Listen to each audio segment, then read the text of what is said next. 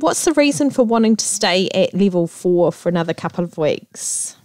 Yeah, look, I mean, I think at, at, at the moment, we, you know, our modelling shows that we've brought the um, the reproductive number of the virus down to about 0.5. It means that everybody who's getting the virus is going on to give it, on average, to half another person. So, you know, so half the people are giving it to one person and half to no other people, um, and that's that's fantastic news.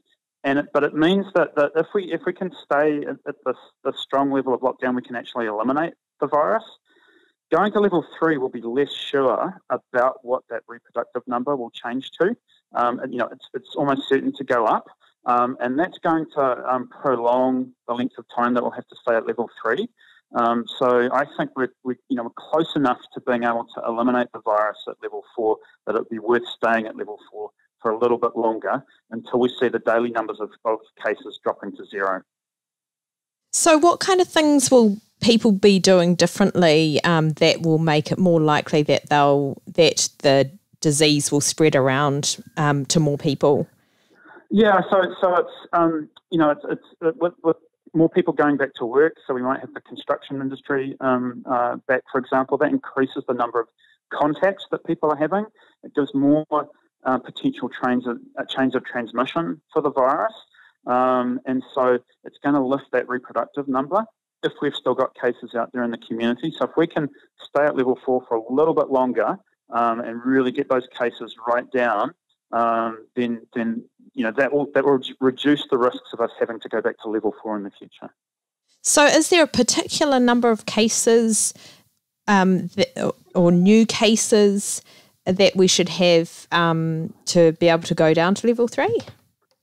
Yeah, look, I mean, I, I, think that the answer to that depends on how strict you're going to be about level three, and and and how how how whether you know New Zealanders are going to keep up their um, their physical distancing and staying in their bubbles. So if you if you think that you can you know that we can put on a a, a really strong level three, um, and uh, you know and, and people are actually going to going to stick to it. They're not going to disappear over the long weekends and, and head out to their baches and holiday homes and, and, and to the beach um, then then you know with, with a handful of cases, you know, very small number of cases, you could probably go to level three.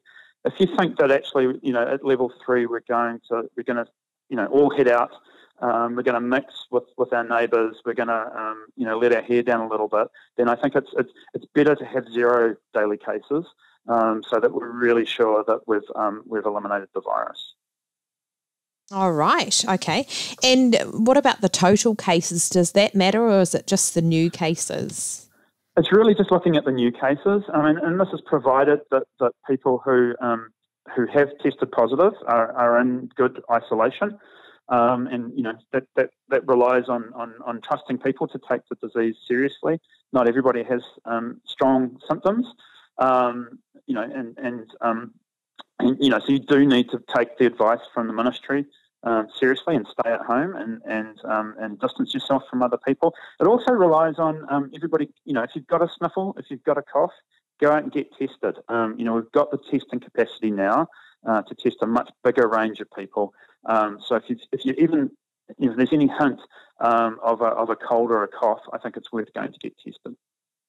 All right, and you think that the testing stations will do that even for people who haven't got very yeah very yeah, um, I think, I think, severe I think symptoms? They're testing, they're testing more broadly now. I mean, they're doing the, the random testing in, in certain communities. Um, so, so I think I think yes, you can go out and uh, and if you've got you know even the mildest of symptoms, then then um, uh, you should be able to get a test. Okay, great. So, are you writing a report to the government to recommend this? Uh, look, we we um, we finished our work on Friday, so they've been looking at our modelling results over the weekend. You know, our our um, you know our modelling is just one part of the, the evidence that they're looking at. They're look, also also looking at the opinions and, ex, and experience um, thoughts from um, infectious disease specialists, people who have fought measles, they've um, fought Ebola. Um, they have a really good um, gut instinct for how uh, likely it is to be to be able to eliminate the disease, and that'll be alongside our modelling, um, and that's the that's the evidence that the government will be looking at and making its decision on today.